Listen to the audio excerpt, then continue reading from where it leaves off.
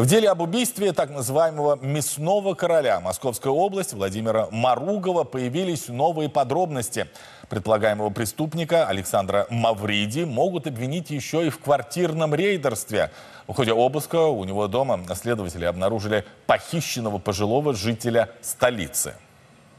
В ходе обыска по месту жительства подозреваемого в квартире был обнаружен пенсионер, прикованный к кровати.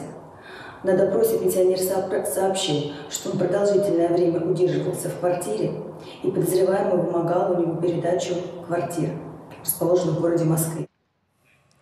Кроме этого, в комнате с пенсионером находился еще и надсмотрщик. С ним сейчас ведутся следственные действия. Судя по татуировкам на запястье, мужчина уже имел проблемы с законом.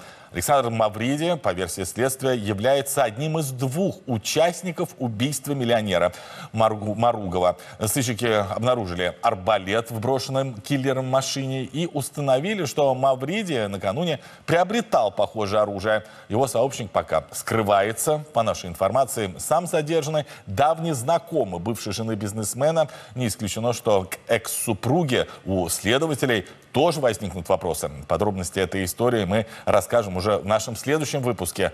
Не пропустите.